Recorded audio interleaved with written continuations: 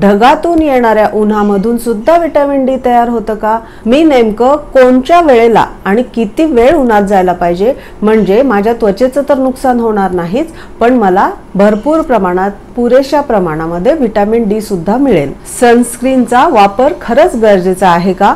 तुम्ही तर म्हणता की विटॅमिन डी हे उन्हात गेल्यावर मिळतं आणि जर मी सनस्क्रीनचा वापर केला तर मला व्हिटॅमिन डी मिळेल का? असे भरपूर प्रश्न तुम्हाला पडले असतील तर त्या सगळ्या प्रश्नांची उत्तरं मी आजच्या व्हिडिओमध्ये देणार आहे. आणि ऑलरेडी माझ्या चॅनलवर व्हिटॅमिन डीचा व्हिडिओ आहे आणि त्याच्या कमेंटमध्ये लोकांनी मला हे सगळे प्रश्न विचारले आहेत. त्या व्हिडिओची लिंक मी डिस्क्रिप्शनमध्ये दिली आहे ती जरूर बघा. नमस्कार मी डॉक्टर चारुता कोपरकर. माझ्या चॅनलवर तुमचं परत एकदा स्वागत आहे. तर नेमकी कुठल्या कुठल्या प्रकारचे युव्ही रेज असतात आणि कुठले हानिकारक असतात आणि विटॅमिन डी तयार करण्यासाठी कुठले आवश्यक असतात? तर तीन प्रकारच्या अल्ट्रा व्हायोलेट रेज असतात. Ultra violet A ultra violet B आणि अल्ट्रा व्हायोलेट सी तर यू व्ही ए रेज जे आहेत त्याची एनर्जी कमी असते पण त्याची लेंथ जास्त असते. म्हणून यू व्ही ए रेज आपल्या त्वचेमध्ये जे तीन थर असतात त्यातल्या सगळ्यात खालच्या थरापर्यंत पोहोचू शकतात. पण ह्याच्यामध्ये एनर्जी कमी असल्यामुळे विटॅमिन डी करण्यासाठी काही उपयोग होत नाही पण या हानिकारक असतात कारण त्या त्वचेच्या तिसऱ्या थरापर्यंत पोहोचतात एनर्जी जरी कमी असली तरी त्या हानिकारक असतात. त्याच्यामुळे सनबर्न किंवा प्रीमॅच्युअर एजिंग ऑफ स्किन किंवा स्किन कॅन्सरचे धोके आपल्याला होऊ शकतात. दुसरे आहेत अल्ट्रा व्हायलेट बी रेज. याची एनर्जी खूप असते पण वेवलेंथ कमी असते. त्यामुळे काय होतं की या आपल्या त्वचेचा सगळ्यात वरचा जो थर असतो ज्याला इपिडर्मिस म्हणतात तिथपर्यंतच पोचू शकतात. पण आपल्या शरीराची उष्णता युव्ही बी रेज आणि कोलेस्ट्रॉल या तिघांमध्ये एक फोटोकेमिकल रिॲक्शन होते आणि मग आपल्या शरीरामध्ये व्हिटॅमिन डी तयार होतं. आणि तिसरं आहे अल्ट्रा व्हायलेट सी रेज. त्या अतिशय हानिकारक असतात. पण आपल्या पृथ्वीभोवती ओझोन लेअर आहे जी आपल्याला या युव्ही सी रेजपासून प्रोटेक्ट करते. याच्यानंतर लगेच प्रश्न विचारला जातो की ओझोन लेअरला प्रदूषणामुळे होल पडले असं आम्ही ऐकलंय.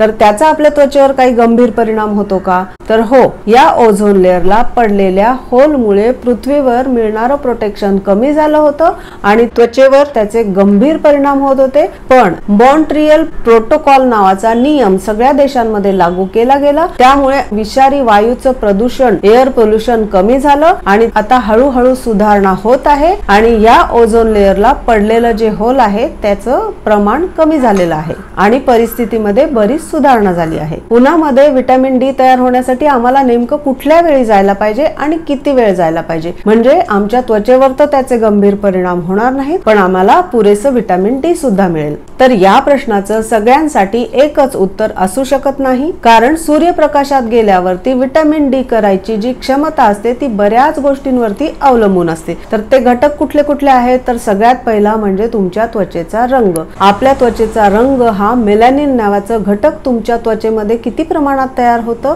त्याच्यावर अवलंबून असतो. जितकं जास्त मेलॅनिन तितकी जास्त तुमची त्वचा डार्क कलरची असते. तर हे जे मेलॅनिन आहे ना ते आपल्या त्वचेचं प्रोटेक्शन करत असतं. या युव्ही बी रेज ज्या असतात त्या मेलॅनिनमुळे कमी प्रमाणात शोषल्या जातात. आणि हळूहळू शोषल्या जातात. म्हणजे तुमच्या त्वचेचा रंग जेवढा डार्क असेल तेवढा जास्त वेळ तुम्हाला विटॅमिन डी तयार करण्यासाठी लागेल. म्हणजे जेवढी डार्क स्किन तेवढं ऍब्सॉर्प्शन कमी आणि तेवढाच तुम्हाला जास्त वेळ लागणार. म्हणजे तुमच्या त्वचेचा रंग जर फेअर असेल तर तुम्हाला पंधरा ते वीस मिनिटं उन्हामध्ये पुरेशी आहेत आणि तुमच्या त्वचेचा रंग जर डार्क असेल डार्क ब्राऊन असेल तर तुम्हाला पस्तीस ते पंचेचाळीस मिनिटं विटॅमिन डी तयार होण्यासाठी लागतील. दुसरं आहे तुमचं वय. जसं जसं वय वाढतं तसं तसं तुमच्या त्वचेची विटॅमिन डी तयार करण्याची कॅपॅसिटी कमी होते. त्यामुळे जेवढं तुमचं वय जास्त तेवढं विटॅमिन डीची कमतरता तुम्हाला होऊ शकते. त्यामुळे तुम्हाला जर उन्हातून हे विटॅमिन डी हवं असेल तर तुम्हाला सकाळ संध्याकाळ साधारण पंधरा ते वीस मिनिटं तुम्हाला उन्हात जायला हवं. आणि त्याचबरोबर तुम्हाला तुमच्या आहारामध्ये सुद्धा विटॅमिन डी रिच पदार्थ घ्यायला हवे. अजून एक म्हणजे तुमचं भौगोलिक स्थान. तुम्ही कुठे राहता त्याच्यावर सुद्धा विटॅमिन डी तयार व्हायला किती वेळ लागतो? हे अवलंबून असतं. जेवढं तुम्ही इक्वेटरपासून लांब असता तेवढ्या युव्ही बी रेज कमी कमी होत जातात आणि त्याच्याचमुळे तुम्हाला विटॅमिन डी पुरेसं तयार होण्यासाठी जास्त वेळ उन्हात जायला हवं. अजून एक म्हणजे दिवसातले काही स्पेसिफिक टाइम असतात. कुठल्या वेळेला तुम्ही उन्हामध्ये जाताय त्याच्यावर सुद्धा हे अवलंबून असतं. तर तुम्ही पहाटेच्या कोवळ्या उन्हात जर जात असाल आणि ऊन जर तीव्र नसेल तर तुम्हाला तीस ते चाळीस मिनिटं साधारण उन्हामध्ये राहायला हवं. मिड डे म्हणजे सकाळी दहा ते दुपारी तीन. वाजेपर्यंत यू व्ही बी रेज भरपूर प्रमाणात असतात उन्हामध्ये. त्यामुळे तुम्ही जर यावेळी उन्हात जात असाल तर तीस ते पस्तीस मिनिटं पुरेशी आहेत. पण ऊन जर तीव्र असेल तर या उन्हात जाणं टाळा. उन्हाळ्यामध्ये आपल्याकडे ऊन अतिशय तीव्र असतं. त्यामुळे पहाटेच्या कोवळ्या उन्हात म्हणजे सूर्योदयापासून नऊ वाजेपर्यंत तुम्ही उन्हात तीस ते पस्तीस मिनिटं जाऊ शकता. आणि बाराची टळटळीत वेळ तुम्ही टाळायला हवी हे तर तुम्हाला माहितीच आहे. आणि हिवाळ्यात आणि पावसाळ्यात कमी प्रमाणात युव्ही बी रेज येतात. त्याच्यामुळे कमी प्रमाणात व्हिटॅमिन डी तयार होतं. त्याच्यामुळे तुम्हाला जास्त वेळ उन्हात जायला हवं. आणि हिवाळ्यात आणि पावसाळ्यात तुम्ही दहा ते तीन ही जी योग्य वेळ सांगितली गेलेली आहे त्या वेळेला उन्हामध्ये गेल्यास विटॅमिन डी तयार होतं. तसंच एअर पोल्युशन असेल किंवा स्मॉग असेल अशा वातावरणामध्ये विटॅमिन डी तयार व्हायला जास्त वेळ लागतो. या सगळ्या गोष्टींचा विचार करून तुम्हाला किती वेळ उन्हात जायला हवं आणि तुमच्याकडे कितपत तीव्र ऊन आहे त्यानुसार तुम्ही किती वेळ जायचं ते ठरवायला हवं. आपल्या महाराष्ट्रामध्ये सगळ्यात योग्य वेळ म्हणजे उन्हाळ्यामध्ये सूर्योदयापासून नऊ ते दहा वाजेपर्यंत तुम्ही तीस ते पस्तीस मिनिटं जायचं आणि इतर जे सीझन आहे त्या सीझनमध्ये दहा ते तीन या वेळेमध्ये तुम्ही उन्हामध्ये जाऊ शकता आणि त्यालासुद्धा तीस ते पस्तीस मिनिटं लागतात. आणि आठवड्यातनं तीन वेळा जरी हे केलं तरी तेवढं पुरेसं आहे. काही काही लोकांना असा प्रश्न पडतो की आम्ही उन्हात गेल्यावर आमची त्वचा लवकर टॅन होते. तर याचा काही अर्थ आहे का? आपली त्वचा युव्ही बी रेजपासून प्रोटेक्शन करण्यासाठी मेलॅनिन तयार करते आणि या मेलॅनिनमुळे तुमच्या त्वचेला डार्क कलर येतो. तुमची त्वचा जर लवकर टॅन होत असेल असा अनुभव जर तुम्हाला असेल तर तुम्ही बीच साईडला जाणार असाल किंवा स्विमिंगला जाणार असाल तर सनस्क्रीनचा जरूर वापर करा. पुढचा प्रश्न असा असतो की सूर्यप्रकाश मानसिक आरोग्य झोप आणि वयोमान याचा काही संबंध आहे का?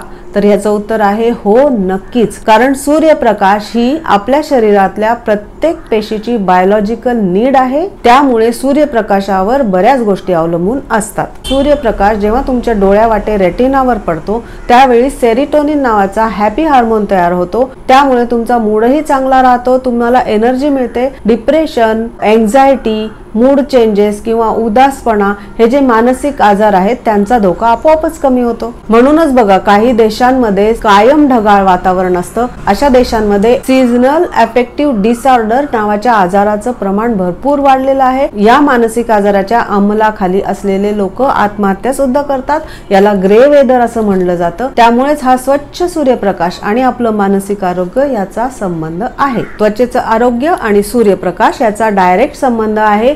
तुम्ही जर वारंवार कुठलंही प्रोटेक्शन न वापरता खूप जास्त वेळ तीव्र उन्हात काम व प्रवास करत असाल तर त्वचा काळवडणे पुरळ येणे लाल चट्टे येणे प्री मॅच्युअर एजिंग त्वचा रापणे त्वचेवर लवकर सुरकुत्या पडणे स्किन कॅन्सर सनबर्न अशा आजारांचा धोका होऊ शकतो. तसंच काही आजार आहेत जसं की सोरियासिस आहे एक्झिमा विट्टिलिगो सारख्या आजारांमध्ये डॉक्टर तुम्हाला फोटोथेरपी सजेस्ट करतात.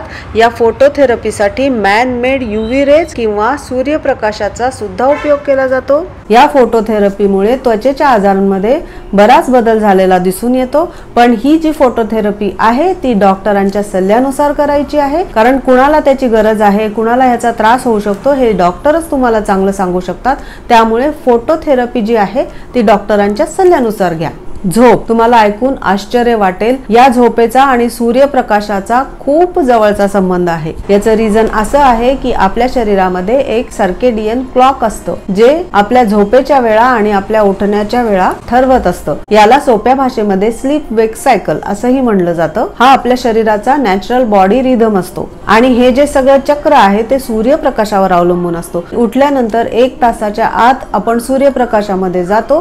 त्यावेळी या युव्ही बी रे रेज ज्या आहेत त्या आपल्या डोळ्यांवाटे रेटिनावर पडतात आणि सेरिटोनिन नावाचा हार्मोन तयार होतो हार्मोन तयार झाला की तुमची एनर्जी वाढते तुम्हाला दिवसभर काम करण्यासाठी एनर्जी मिळते. हा पडणारा प्रकाश आपल्या मेंदूला अलर्ट राहण्याच्या सूचना देतो आणि जसं जसा सूर्यप्रकाश कमी होत जातो तसं तसं तुमची बॉडी रिलॅक्स होत जाते. सूर्यप्रकाश कमी झाला की बॉडी रिलॅक्स होऊन तुमचं शरीर झोपण्यासाठी तयार होत असतं. त्यामुळेच ज्यांना ज्यांना झोपेच्या तक्रारी आहेत त्यांना मी असा सल्ला देईन की त्यांनी कितीही झोपायला उशीर झाला तरी सकाळी लवकर उठायचा प्रयत्न करा आणि उठल्यानंतर एक तासाच्या आत तुम्ही सूर्यप्रकाशामध्ये वॉकला जा याच्यामुळे तुमच्या झोपेच्या सायकलमध्ये नक्कीच बदल होईल आणि तुम्हाला शांत झोप लागेल तुमच्या झोपेच्या तक्रारी कमी होतील. झोपेसाठी कुठल्याही प्रकारच्या गोळ्या घेण्यापेक्षा हे एकदा करून बघा तुम्हाला नक्कीच फरक जाणवेल. आणि तुम्ही उन्हात गेल्यामुळे तुमच्या शरीरामध्ये पुरेसं व्हिटॅमिन डी सुद्धा तयार होईल तुम्हाला एनर्जी तर वाटेलच पण तुमचं बॉडी स्ट्रक्चर सुद्धा स्ट्रॉंग होईल. तुमचे बोन स्ट्रॉंग होतील. युव्ही रेज सनस्क्रीनचा वापर आणि व्हिटॅमिन डी या विषयावर लोकांचे अजूनही खूप प्रश्न आहेत. त्या सगळ्या प्रश्नांची उत्तरं देण्यासाठी एक व्हिडिओ पुरेसा नाहीये.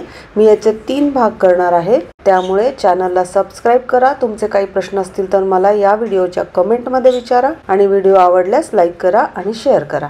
थँक्यू